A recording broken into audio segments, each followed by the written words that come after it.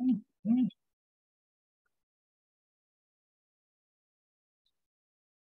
still getting setting up here, sorry. Um, can you hear me okay? One student that's here, can you? Uh, oh, yeah, I am recording here. Okay, uh, I'm gonna go ahead and get going here. I'll share my screen. I've only got one person joined so far.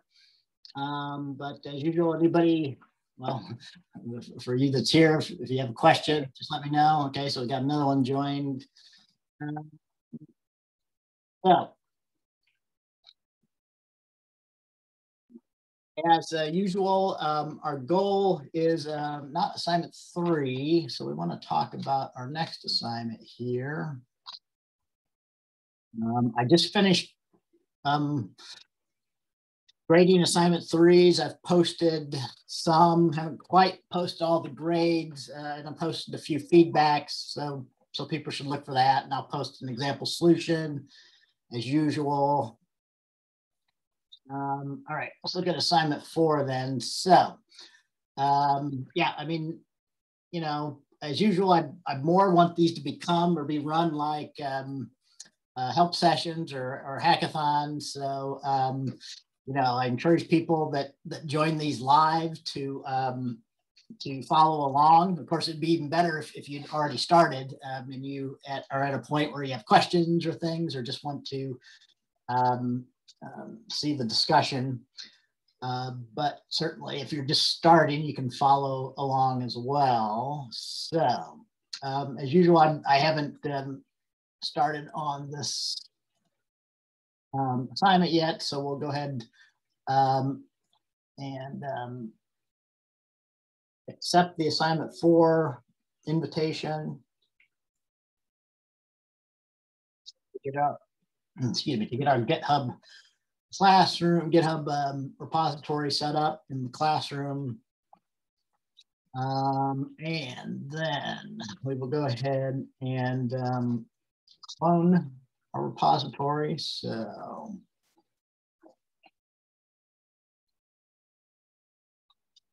into our assignments directory.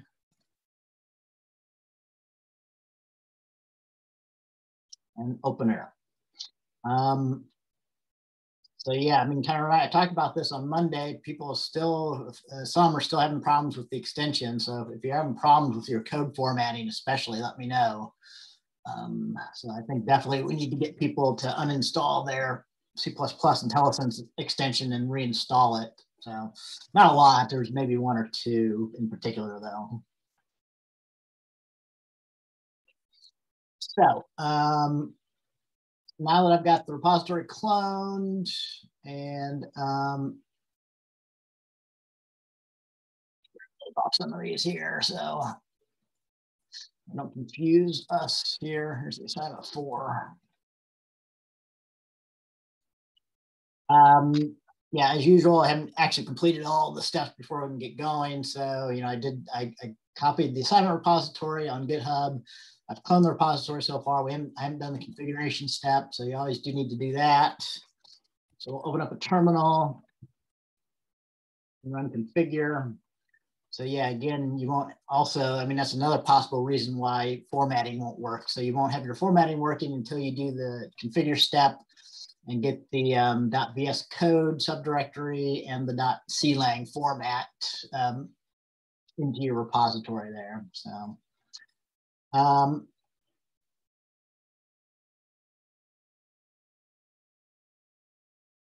so and then let's check everything builds and runs. Uh, I'll open up my tests.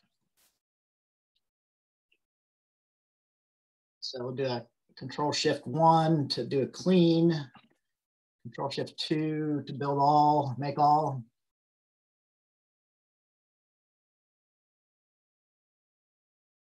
and then control shift three to run the tests. Uh, yeah, so everything, that's what you should be seeing. So you should see just one test case running.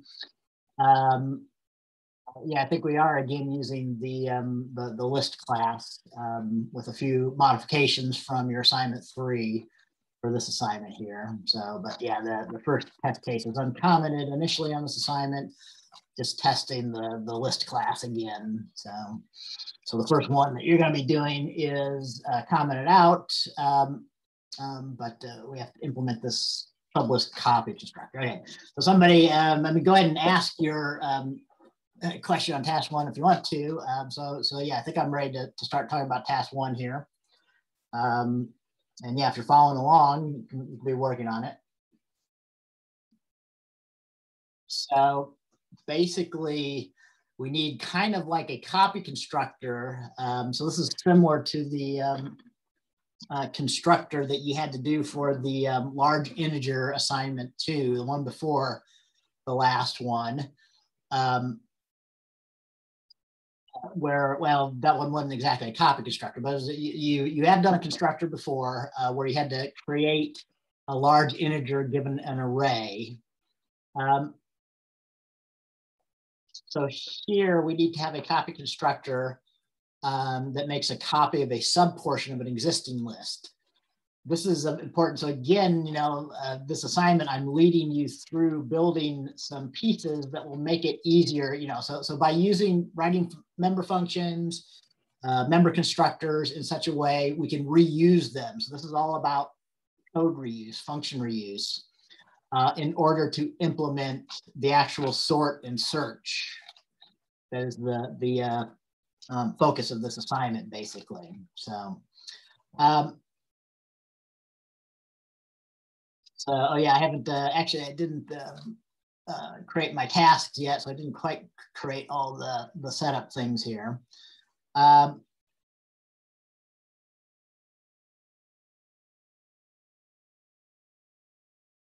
well, well, I got to do those real quick here. I'll just break the first issue here. So.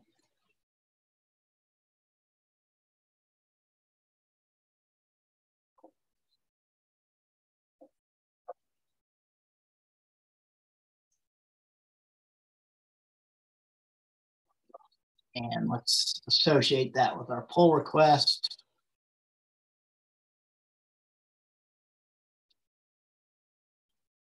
All right, there we go. Now I'm pretty much ready to go. So, um,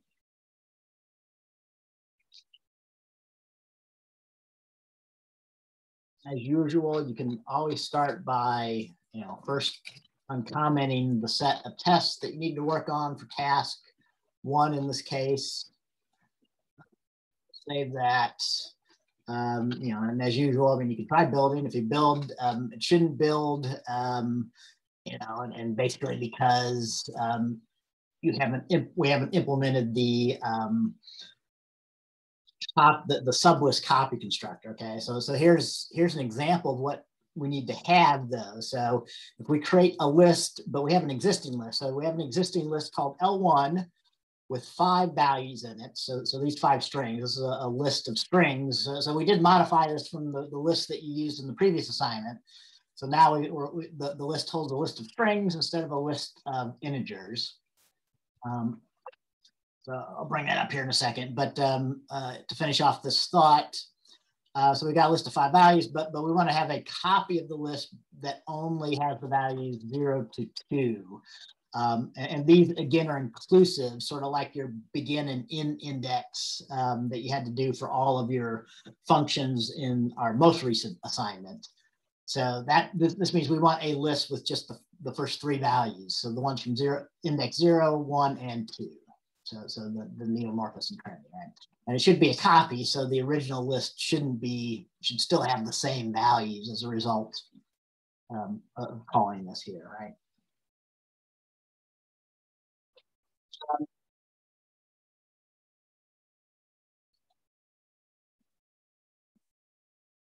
So let's look at the, the list here. So um, it's not too different from the one that, that you used before.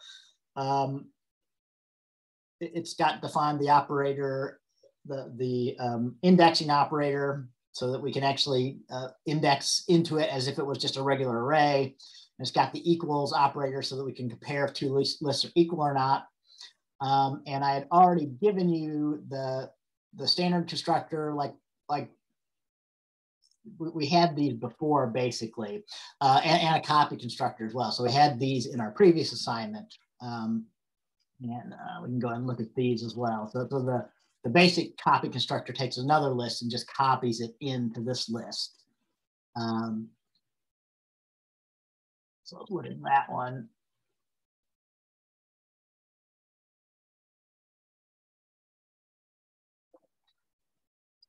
So, um,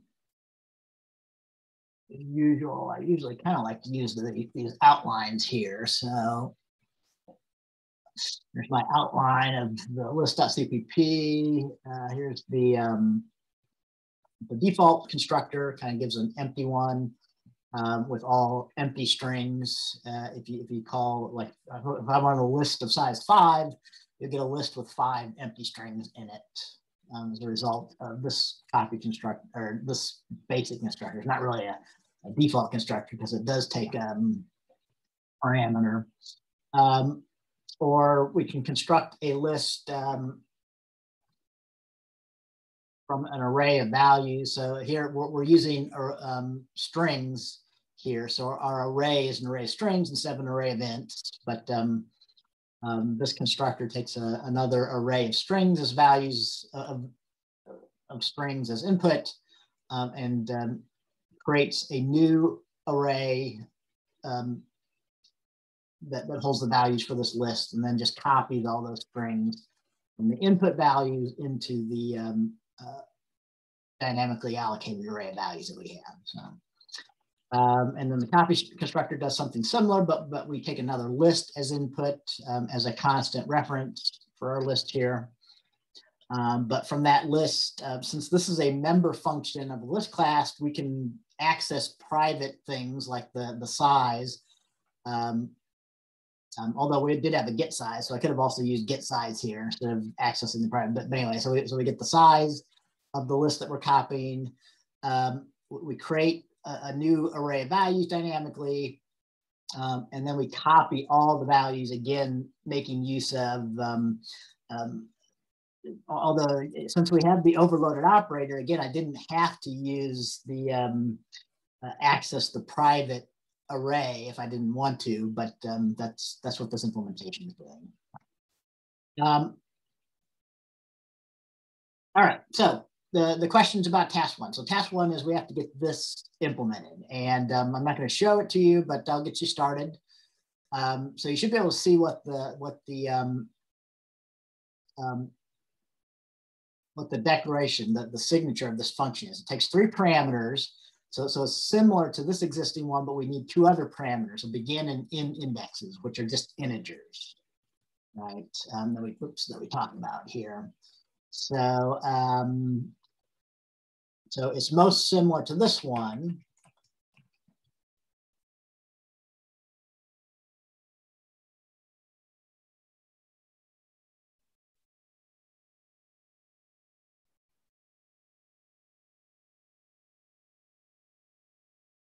Um, but um, but we're taking the um, beginning in index of the sublist that we want to um, copy, basically, right? Um, so, oh, kind of uh, in general, you know, most people, when you're writing classes like this, they usually uh, is considered good style to keep. So the order that you have the declarations in um, your um, declaration of the list in C++, should keep those functions in the same order in your implementation file. So um, here we're putting the, uh, the sublist copy constructor right after the, the, the full copy constructor. Um, so I just put it right after the copy constructor. Um, and um, um I'll reuse, I'll start by reusing the, um, the function documentation, uh, although modify this. You know, so always try to make certain your documentation is up to date. Um,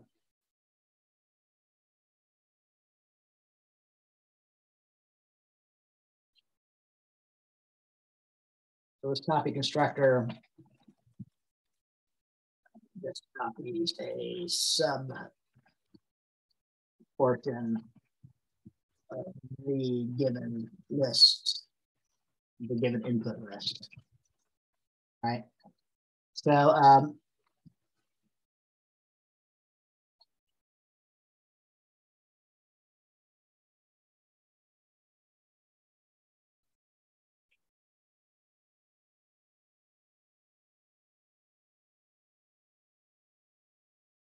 Um, so besides, so we got some extra parameters now, um, which should get in there. Uh, what did I call them? Begin index. And in index, all right?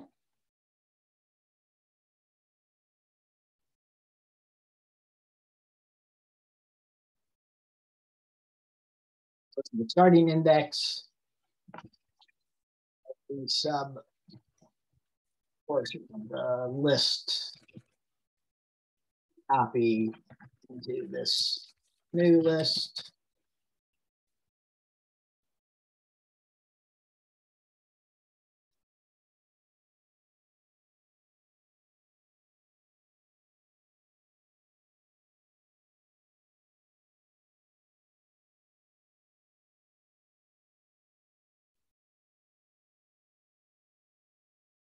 Right there. So we got our documentation done. You should be clear about what your thing is supposed to be doing.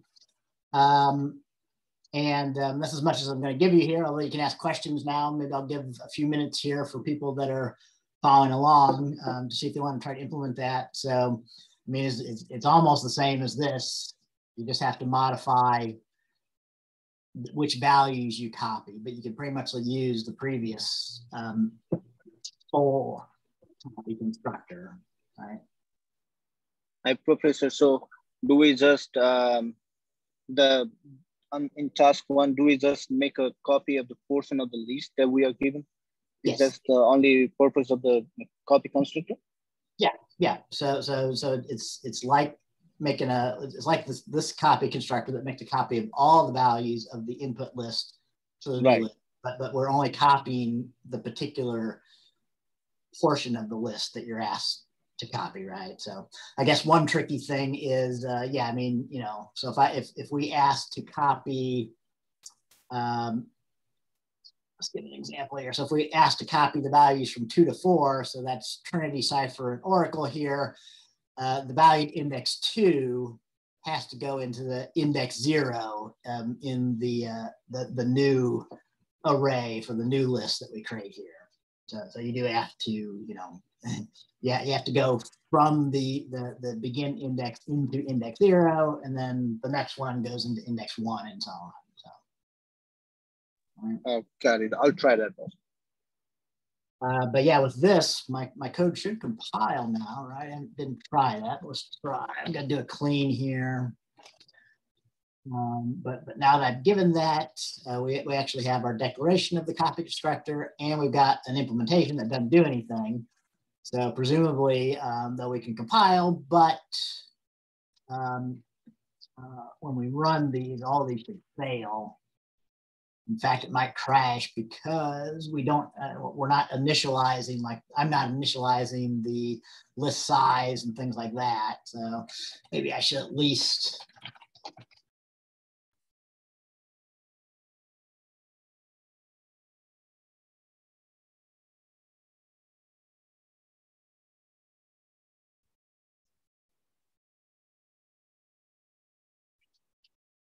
at least make it zero. So maybe it won't crash if I do that at least.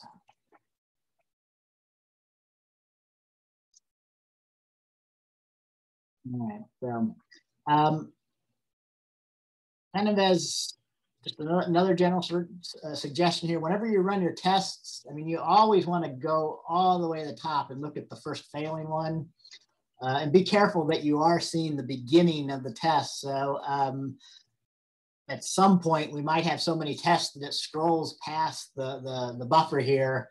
Um, I don't know if that will end up being an issue yet in this assignment or not, but, but, but yeah, you might have to actually um, increase the your scroll buffer size. I think it has a limit of a couple of hundred or a thousand or something like that. Uh, so yeah, if you open up your settings and look for scroll back or buffer, yeah, it is a thousand. So sometimes that can be a little small if you got lots of tests. Um,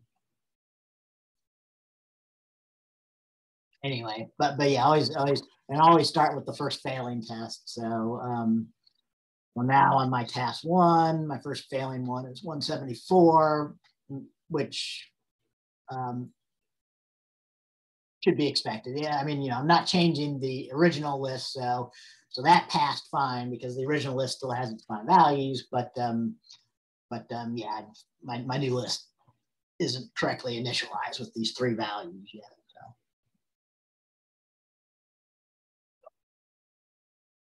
All right. Um, other questions on task one? Give me a thumbs up if you're ready to move on, or yes, or you can ask questions. I might wait a minute or two if, if people are uh, implementing this or to think about it. Um, if you're just starting, you might need, need a little bit more than a few minutes, but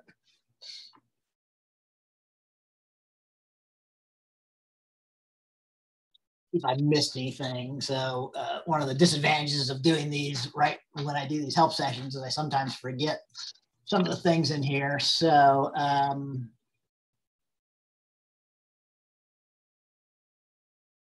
so we added in the two additional parameters. Um, both integers indicate the portion of the passed in list that should be copied.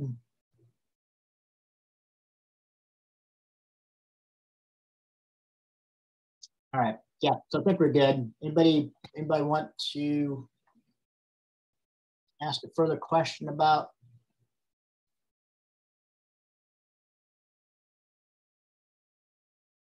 ask one? Not, let's go ahead and get task two going.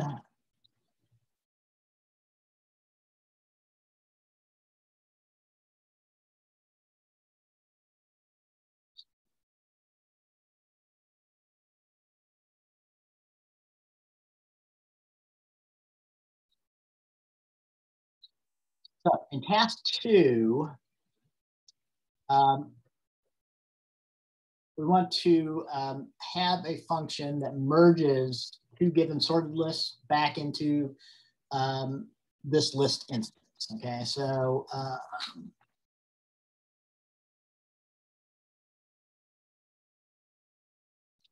so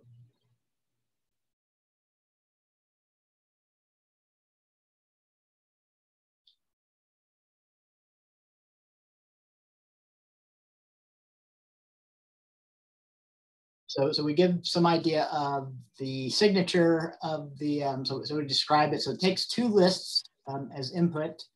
Um, it shouldn't be modifying e either of these other two lists. So they should both be passed in as constant reference parameters like we've been doing.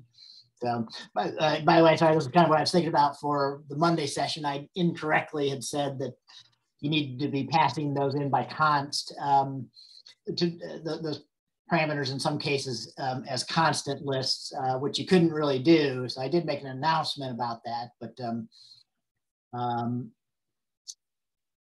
yeah, so the, the reason for that, we'll, we'll talk more about the reason for that when we talk about operator overloading. So basically the, uh, the, the indexing operator for our list class um, can be used to actually modify the list, which makes it um, which, which means you can't use that operator if you declare the list to be constant, even if you just want to use that operator to, to read the value out uh, at a particular index instead of modifying the value. So that, that in a nutshell was kind of, um, so um, we potentially could have the same issue here. Uh, but but but yeah, you should we should um, according to the instructions we should um, declare both of these lists to be constant reference parameters. Um, we call them like lower and upper.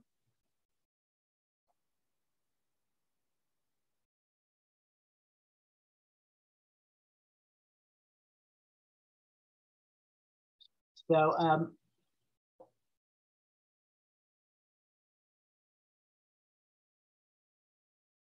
um,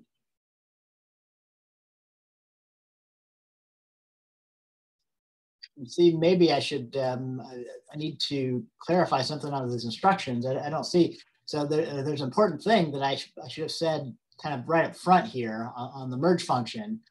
Both of the, the, these two lists are actually uh, need to already be sorted before you call merge on them, all right? So this algorithm that, that we're given assumes that the, the two lists, um, the, the, the, two smaller lists um, are already, both of them are already sorted um, in like ascending order. Uh,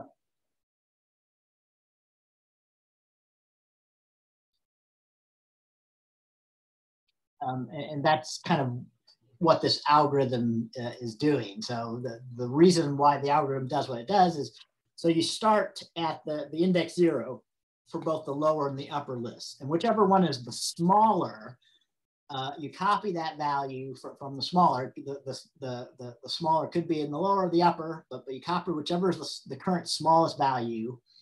Um, you in, increment the index um, of that list that you just copied from. So if I copied the, the value in lower, I want to increment my index. So the next time I'm comparing, you know, I've already copied one value out of lower. So, so I want to be looking at the next value in lower, but I'm still looking at the same value in upper, right? So, so you're going to keep repeating that, copying values either from lower or upper um, until you've exhausted all the values in one of those arrays, right? Um, and then after that, so, so, so when you're done, uh, you, you will end up have copying all the values completely out of one of the two arrays, but there could be one or more values left um, in the other array. Um, so um, at the end, then you have to copy any values that are left over um, out of those arrays um, into, into this list, basically.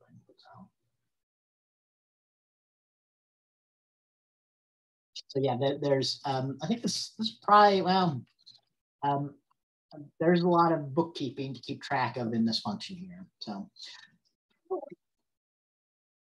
let's just look at it. Um, so as usual for me, you know, um, things are clear if you look at the actual uh, use of what we're talking about here.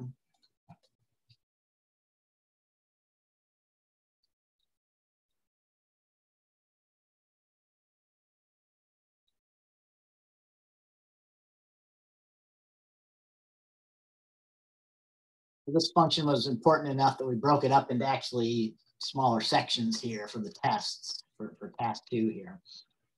So the basic idea though, um, so look, we, have got a list with two values and, and, they should always be sorted already. So and, and we're talking about, you know, um, uh, increasing sorts here. Um, alphabetically for strings. Uh, so C's come before N's, M's come before T's here in our two lists that we're going to do a merge on.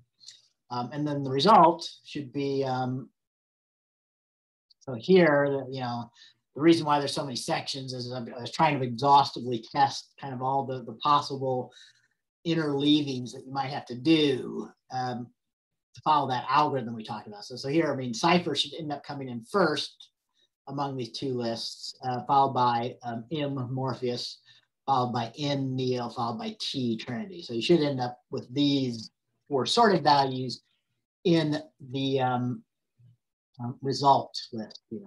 Here's one, uh, yeah, I had forgotten. Here, here's why we have that, that empty constructor. So this, this creates a list with four big enough to hold four values that are all empty. And then we end up kind of throwing away those empty strings when we do the merge here to copy in, you know, to merge these two upper, lower and upper lists that we pass in to the, to the result list. Um, anyway,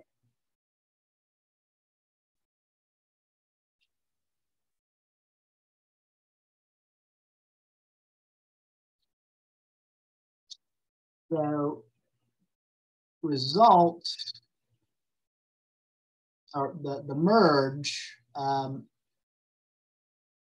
um, should probably be considered like a sorting and searching method. So it should go here, right? Um, when, when, you make your declaration. Um, yeah, maybe we'll do this one too here. Um, so, you know, merge takes two other lists. Like we said, they should be constant references. Uh, notice, and it doesn't return a result. Um, so so uh, the result is implicitly um, that the values are merged and copied into the list that you call merge on. So, so, so these values from the, the, two passed in lists end up being copied into the result list here uh, when we do the merge, right? So, so if I didn't say, that means that, that this function is a void function, doesn't actually return anything explicit.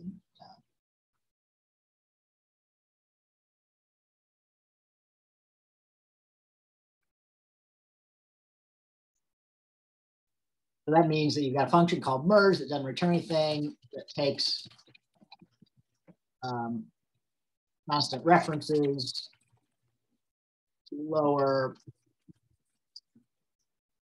and upper lists. I don't know if lower and upper is a really good name. That's more of like a merge sort sort of thing. Um, make make more sense once you um, do the merge sort algorithm. But, but yeah, we could have called this I mean, it's really just kind of the one, you know, there's no real position on these. Uh, the, the, the, first list and the second list or, or um, whatever. But um,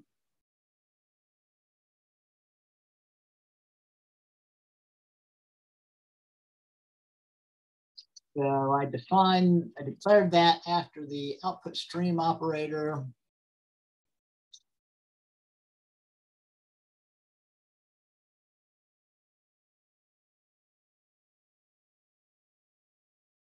So we should put that down in here, basically.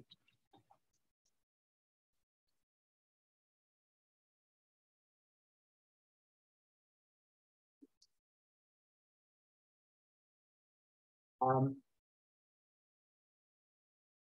so yeah, I mean, you know, don't forget that, um, oh, this isn't a list memory exception. I shouldn't have copied that. So that wasn't a, wasn't a very good starting point. Uh, this, is, this is actually a member of list. Uh, let's copy something else. I'll have a little bit less typing to do. So like maybe this one. The starting point.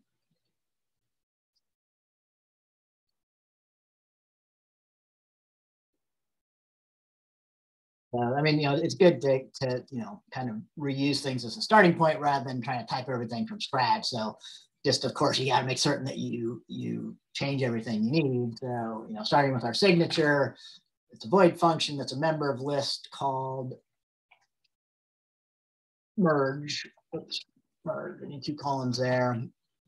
Um, and we're taking two constant list parameters.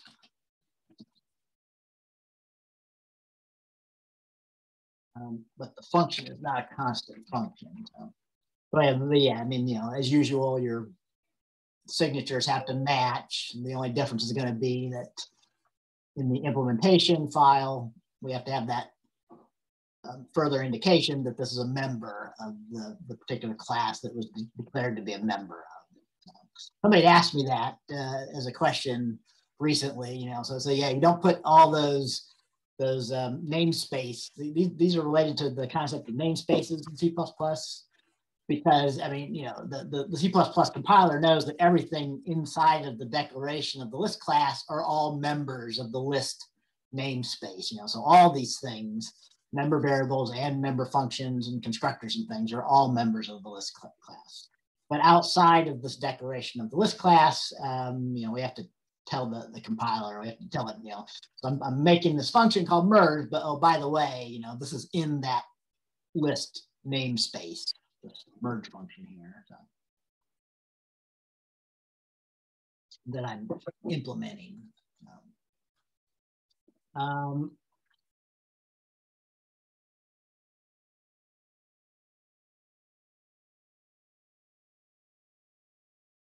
so your brief description should be um, just like two or three, maybe five words. That might be a little bit big for a brief description, right? Well, another thing, um, there, there should be a space between them as we found out last time, which I might not always have done either um, for all the functions. Um, uh, because, I mean, Doxygen, if you don't have the space, it's going to put uh, uh, everything together as the brief description.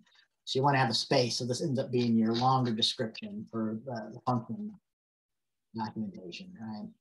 Um, and then it's not required to have spaces here, but, but I think visually it's a good idea to have a, a, a blank line to separate out your parameters and out your return statements. So um, in this case, we don't have a return, so we don't really need a returns, but oops, that's the wrong function there. Um, so yeah, in this case, we don't really have a return value.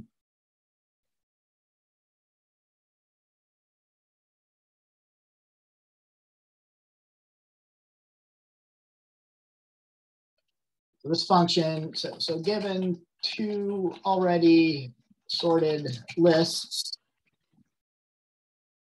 lower, merge them into this list, sweeping the resulted, resulting merge list sorted as well, right? So that's the whole purpose of this merge function merging two small already sorted lists um, together into one single list, uh, but keeping the sorting, right? Uh, and by the way, um, so you should be watching um, the um, about algorithmic complexity. The, the, the thing about the merge, if, if you follow this algorithm, is it's an O-N. Um, um, it, it, it works in linear time. I mean, given that lower and upper are um, sorted, um, this loop um, only has to occur the, the, the number of times because, because each time in the loop, one value from lower or upper gets copied into the resulting merge list, right? So this, this list will, will, will execute, or this, this loop will execute uh, in times where n is the combined number values in lower and upper, the two lists that are being merged into one list. Okay? But that's kind of important. That, that's what ends up making merge sort um, an n log n algorithm that you'll be seeing when you um, go through the materials for this week. Um, um that we can do this merge in linear time in, in ON time.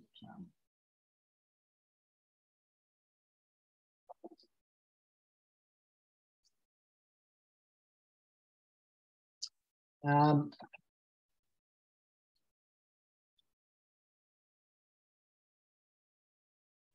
so this is one of the two lists we are merging into the into this.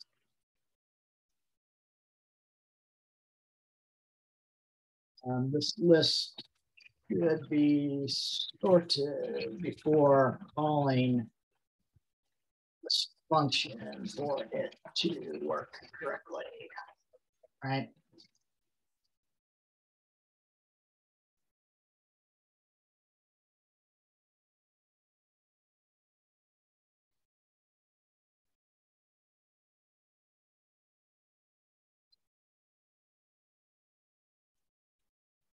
This is the other, the two lists we're merging into this resulting list. So, all right. Um, yeah, and like I did for the first one, um, so we can leave that empty, but um, that should allow us to compile and run. So it's always a good uh, test, you know. So first get everything back so it compiles and can run the tests, um, and then you can start working on the implementation. So,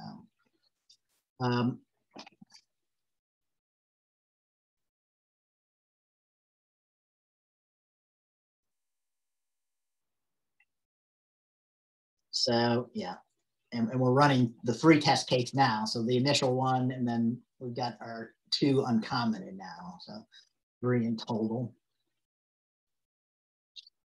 But we should probably be failing. Um, oh well, we're still failing all the ones for the, the first test case. Yeah, but um, but yeah, even this first one um, here should be failing on line 256, of course, because again, we're not merging anything yet.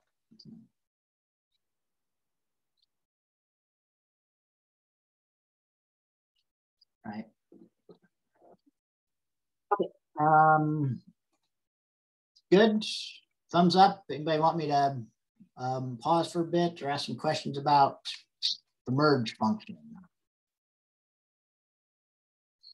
I'm probably going to stop giving you the signatures. And I mean, you know, that's good practice. You know, I mean, that's how I normally start uh, a task like this. Um, I mean, when I when I'm doing real work, real coding, you know, so I always start with the function signature and describing it, uh, make certain everything compiles and runs.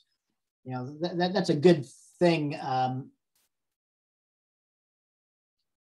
you know, I mean, just to be clear about what you need to do to actually implement it. You know, that that, that just gets you um, in the right mindset. You know, makes you think about the issues of of um, what um, how you need to implement it and, and what might be difficulties and those kinds of things. So,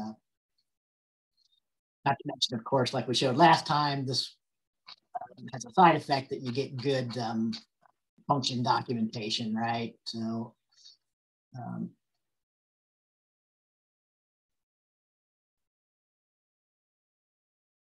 um, so always maybe a good idea to check that um, you're not getting any warnings from generating the Doxygen reference and reference documentation about missing things and stuff like that. So. All right, questions? Let's move on to task three unless somebody wants to pause for a bit or ask a question.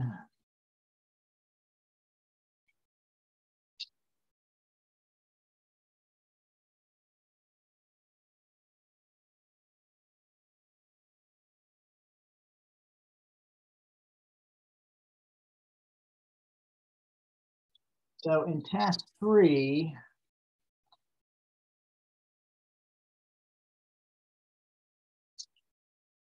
um, we're actually ready to implement the sort member function. We're going to be um, we're going to be implementing a version of merge sort. If you follow the um, um, the the algorithm that's described here, merge sort is a recursive function, right? So hopefully you learned enough about recursion to understand what's going on here um, on the previous assignment, previous unit.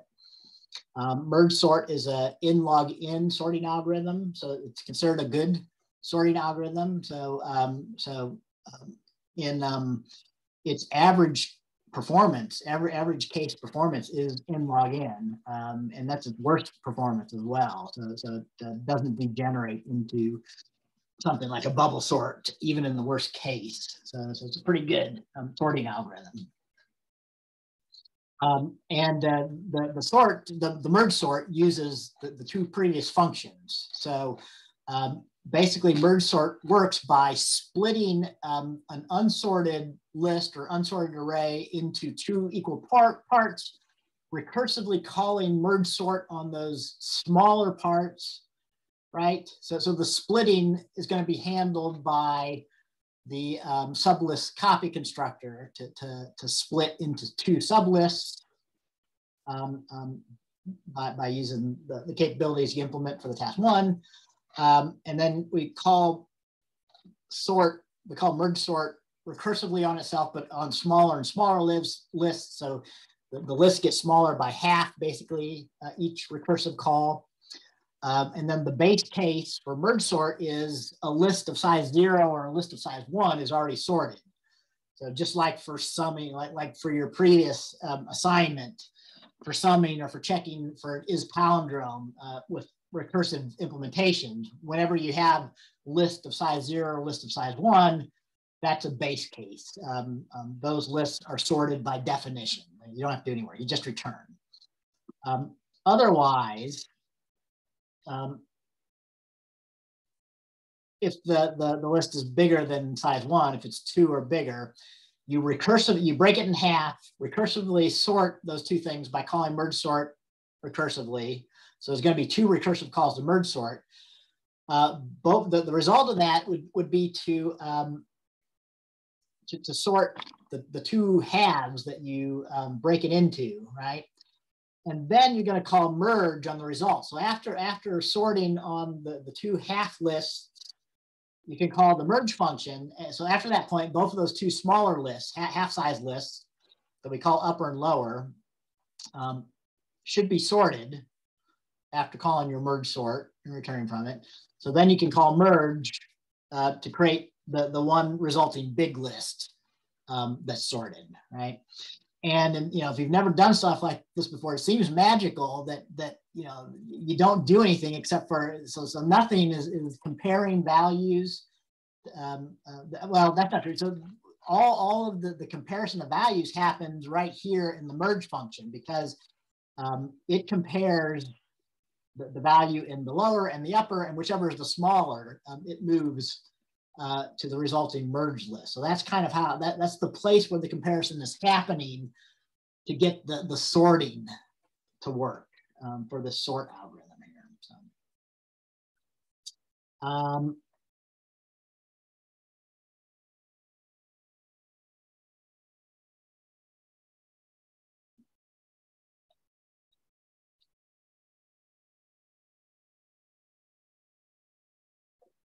So, um, so yeah, I think that's, I mean, like I said, I'm not going to give you the signature here, although, you know, the, the, the, the sort, um, hopefully I describe it here. Um, or we, we can look at the, um, the test here uh, to be more concrete of, of the sort function.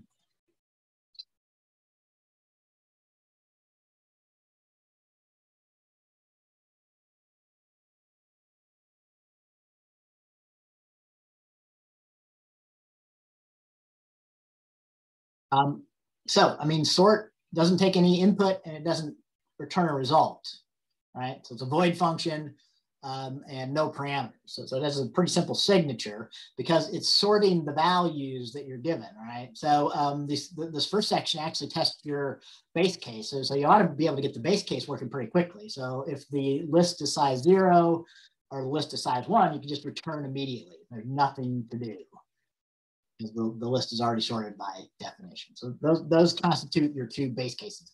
How do you find the size? Well, you know, um, all these list um, classes, instances keep track of the size of the list. So you can just use the size member variable to see if the size is zero or one, right? So this constructor should be constructing an empty list, setting the size to zero. This constructor should be constructing a list of size one. So the size member variable would be one for this list. And both of these would be your base cases. Here. Um,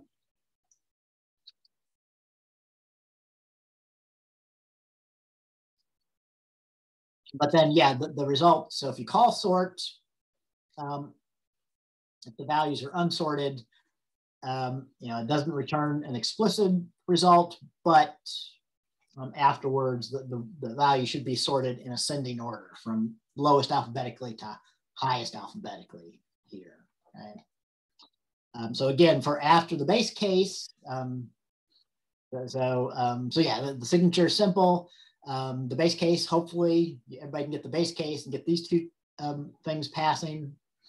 But after you get to that, after you get past that part, you have to split into two instances. Okay, so here's an example of splitting.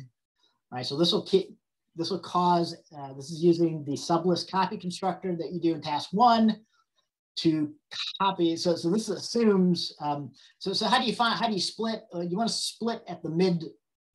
Uh, the, approximately the middle of the list. So basically, all you have to do is if, uh, if you take the size of the list. So let's say the, the size of the list was was five if you do an integer division, so, so whenever you divide integers in C++, it'll do integer division for you. So if you do five divided by two, you'll actually get a result of two. It'll just round it or it'll just chop off any fractional part.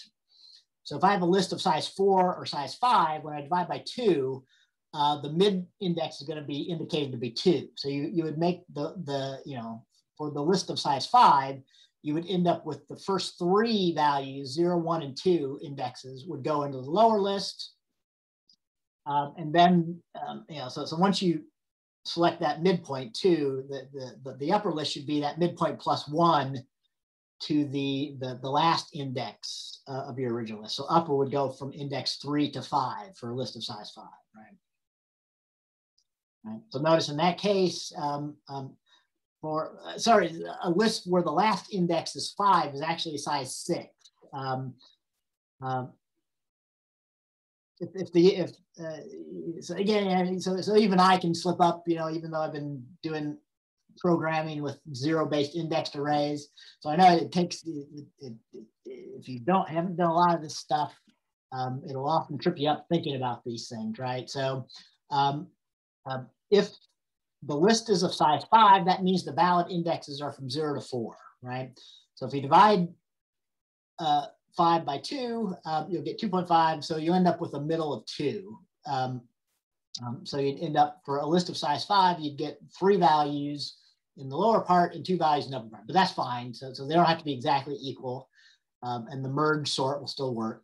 If the list was size four, the valid indexes would be from zero to three, right? But, but if you divided by four by two, you would get two again. Um,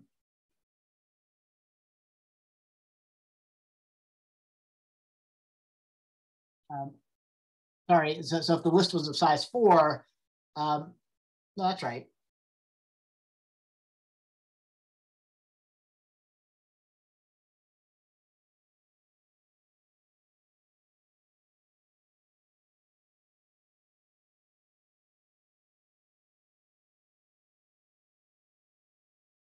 Um, yeah, I have to go back and read my description. So it, that there are uh, ways that, um, um, so the way I'm describing here in the description, uh, yeah, you just divide by two. So, so dividing four by two would get you a result of two. Um, but, but yeah, the way I described it is that you should be using that as the, the first index for the upper. So, so for even size lists, if you do the way I describe here, um, it would always divide these into um, equal size lists. Uh, so zero and one would go into the lower and two and three would go in the upper. Um, but, but again, yeah, I'm, I'm doing the same thing here. So um, um, although I can see I got a mistake in my description.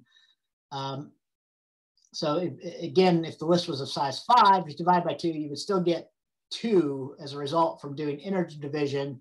But again, by this description, you should put zero and one in the lower list and then you'd end up with the three values two, three, and four um, in the upper list, right? So, so yeah, the mistake here now that I'm reading this um, is I should have had the example be uh, from zero to one to be consistent with the description um, here, okay? So hopefully that, that doesn't confuse. I'll try and remember to correct that here.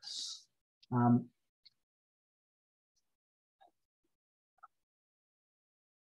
so anyway, that's all you need to do for the split. Um, then you have to call sort recursively on both of these sublists. So you just call sort on the lower and sort on the upper, right? And again, since it's a void function, it doesn't take any parameters. Uh, so, so how do you call it on the lower and the upper? So again, lower and upper are, are instances of lists, right? So it would just be like I have a list called lower, and I'd have to say lower dot sort to call sort on the lower list, right? Um, and then you have to call merge um, on this instance uh, with the return lower um, and upper list copies, right? Oh, yeah, and, and um, you know, looking over that, I think merge is the tougher of these first three. If, if you get if you get you know task one and task two done, I think the recursion, this description of the recursion for the merge sort um, is not too tough. It's only about five lines of code here um, uh, to do the merge sort. So, all right, uh, yeah, so it's already getting kind of uh, uh later, so I should probably wrap up. Uh, any, any quick questions on the merge sort here? I've been talking about it for a while.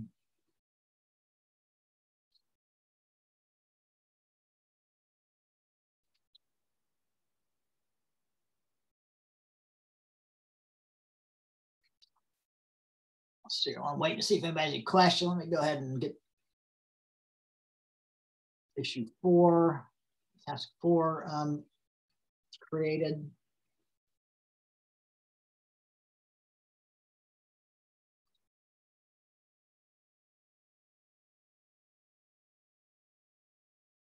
So um, after you get sorting working, um, we're going to um, actually implement some searches.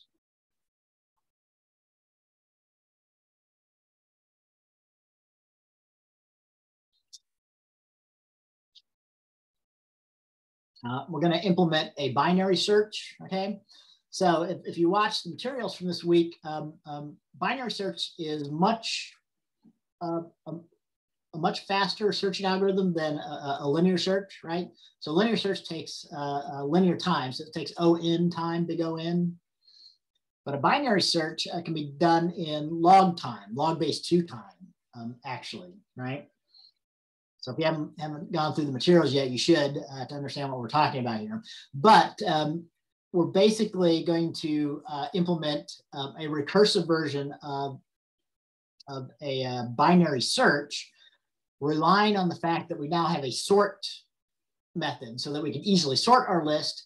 And once it's sorted, then we can do the, the faster binary search, right? So binary search doesn't work unless the um, list is sorted, okay? So in our textbook, if you just read the textbook, it gave a, an iterative version of binary search. Um, although I, I our, our um, supplementary textbook might also have um, a recursive version of, of, binary search. I can't remember. So you can read either of those or watch my videos about searching and sorting um, where I, I, I, think I showed the iterative version using a loop for binary search in the videos this week on, on binary search, so this unit. So, um,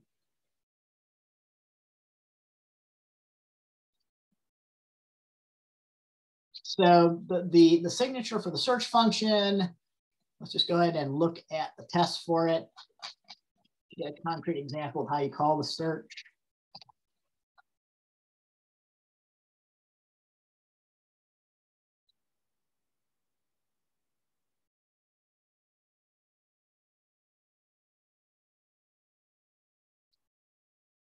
So here we're making taking advantage of the fact that we can have we should have a sort working by this point before we do task, um, what is this, task four? Uh, yeah, task four. Um, and so, so search takes um, three values. So again, this is, this is um, kind of like our, our previous assignment three. So, so um, um, we take the value that we want to search for. So, so we call search on, on the list of values that we're searching. Uh, we take the string. So this is just a string, um, and this can be a uh, probably should be like a constant reference. Um, although I might not have, I might not have uh, spelled that out explicitly, but but you're not going to be changing that string. So so you can return that. You can pass that in as a constant reference value. Um, and then you take a begin and end index. Okay. Um, and this is for the, the recursive um, um, implementation, right? So normally when you would call a search, you would just um, pass in the value you want to search for, and and and uh, the search function returns. Um, it should return the index, right? So if I if, if we search for Agent Brown, Agent Brown should end up at index zero in this list. Um, so if you search for that, you should get a result of zero, indicating that we found it and it was at index zero of the list right? Um, and and you know, but but you can search a sub portion of the list using this interface. So if there's 20 items, uh, again, these are inclusive. So that means search the full list from index zero up to index 19. Search search the full list here. If, if we search for you know a value at some other location, you know, so if we search for the value at index 19, it should return 19. Um,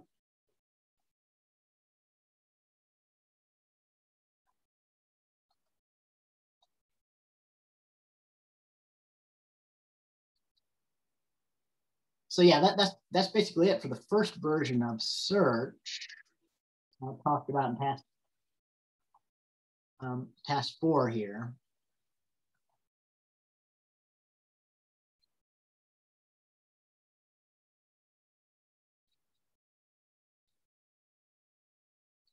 I'm just looking, um, I guess I didn't make any test of searching like a sub portion of the list um, because I mean, really, this is just um, a setup to do the, the algorithm recursively here. So, so because you've got the beginning index, so, so let me just kind of wrap up this section.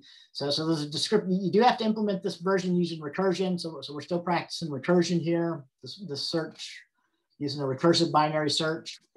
This is an example of, of uh, both the, the merge sort and this and uh, the recursive binary search are, are examples of divide and conquer uh, recursion here.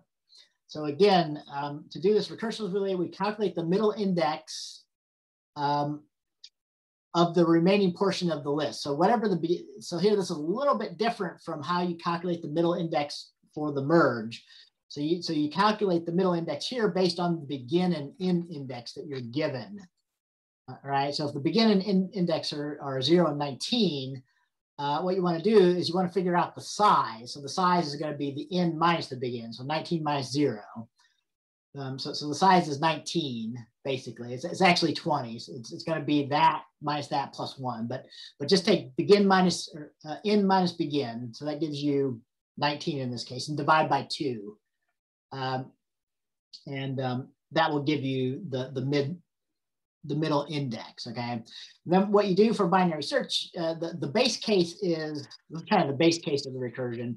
So, so you test. Um, so if, if the value you're searching for happens to be at that middle index that you just calculated, uh, you return that index where you found it. So that's the success condition. Otherwise, if, if the list is sorted, um, the, the, the, the, the value has to be somewhere either to the left or to the right of that middle index, okay? So to make this concrete, let, us say, you know, so if, if you start searching for zero to 19, the middle is gonna be at like nine, which is uh, somewhere around here. Let's say the middle is Morpheus, okay?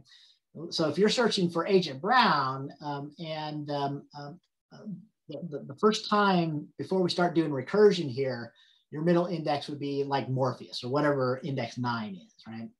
So in that case, you, you failed to find it so far, but if you compare Morpheus to um, Agent Brown, if, if, you were searching for Agent Brown, um, you would find that, that Agent Brown is less than um, the value at index nine, Morpheus. So that means that I need to, to search the list from zero up to mid minus one, right? So from zero to eight. So you need to recursively call um, the search function, but on indexes starting in index zero up to mid minus one to search the portion to the left or to the lower, you know, so that's if the, the, the key you're searching for is less than the value at the midpoint that you were testing, right? But you can have the other case. So, so you need to have like an if statement. So your recursion is an if statement. So if the value you're searching for was less than the, the value at the midpoint, you search the, the lower portion of the list from zero to, or from the begin index, you know, so again, remember, you might not be, you might be into your recursion stack. So whatever the begin index is of the current subportion of the list that you're looking at up to the mid minus one. Um, if instead the um, key you're searching for um, is greater than the midpoint that you calculate, you want to search from mid plus one to end. So, so in that case, you would call your recursion um, like in an if else statement. So, uh, so else, if the key is greater than um, the key at the midpoint, search from mid, plus, mid plus one to end, right? And if you keep doing that, so basically this is divide and conquer because every time you do a recursive call like that, you throw you eliminate half of the list. If you don't end up having to find it at the midpoint, it's either in the first half or the second half of the list. So, so at every um, recursive call, I eliminate half of the values to look for. Um, so I, I, think I talked about this in my video. So it's like, uh, this is how you would look up a word in a dictionary, uh, kind of like how you look up a word in a dictionary or like in a phone book, look up a name. So they're going to be sorted alphabetically or by the, the word uh, in the dictionary. So uh, a, a, fast way to find the words, you, you go to the middle, um, and then that'll tell you whether your word is to the left or the right. Um, so.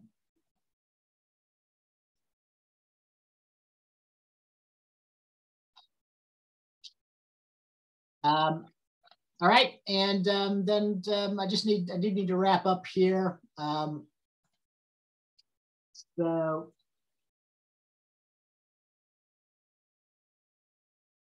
um, for issue five, uh, we're going to actually be implementing one more function and um,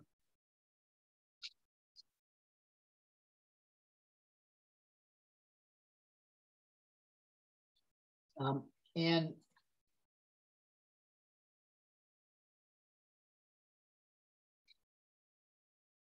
there we go.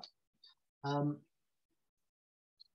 implementing one new function um, in order to improve the API for search. Okay, so what I mean by that is a normal user of the uh, the um, class. There, there's two things we're going to be improving about this. So a normal user of a search wants to search the whole list, right?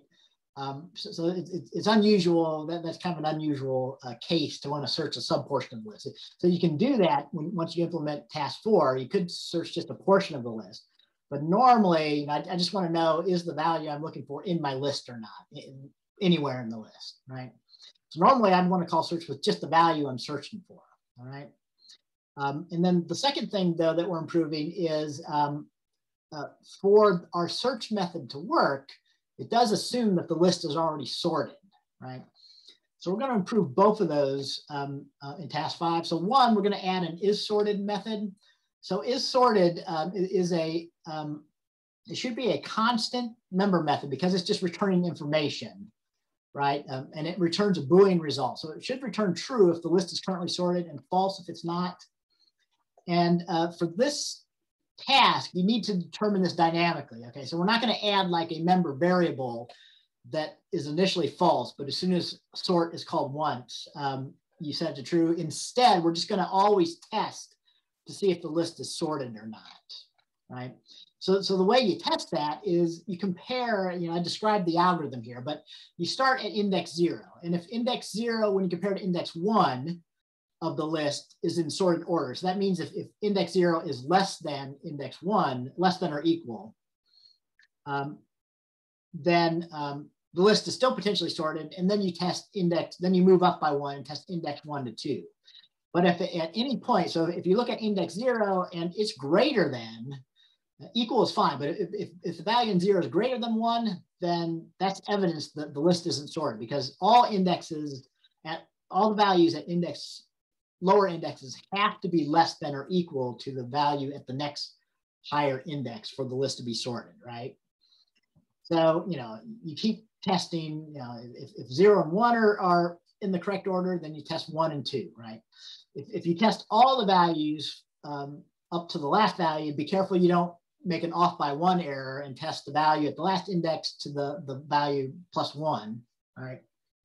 But anyway, if, if all the values are sorted, then the answer is true. But if you ever find one pair of values that are out of order, then you want to return false from the is sorted, okay? Um, once you have this sorted working, then you're going to be adding in um, a search method um, that um, just takes one value. So you're going to be overloading search. So you'll end up having two versions of search.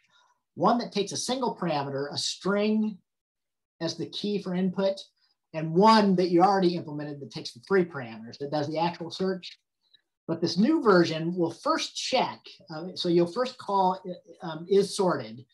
Um, and if, if, it's false, so if, it, if it's not true that the list is already sorted, you'll first sort the list.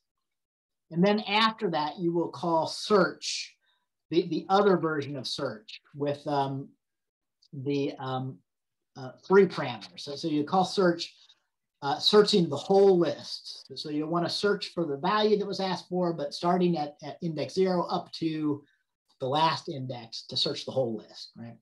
And, and whatever result the, um, the, the, the, actual search returns is the result you should return from your API, you know, your overloaded version of the search here.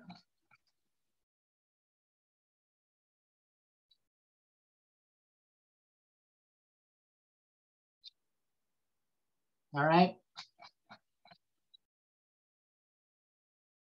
Okay, so, you know, kind of again, as usual, I've gone a little bit longer. I wanted to, um, there's, oh, there's actually two tasks. So you might want to do these one at a time.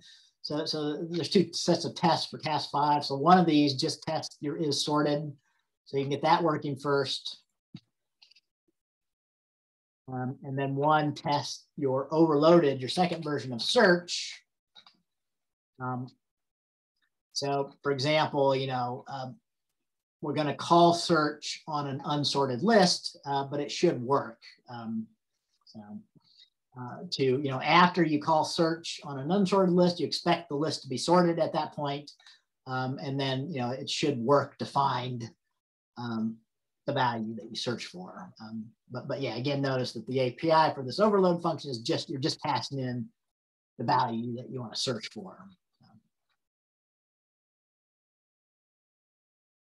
All right, any last quick questions? I do need to wrap up here.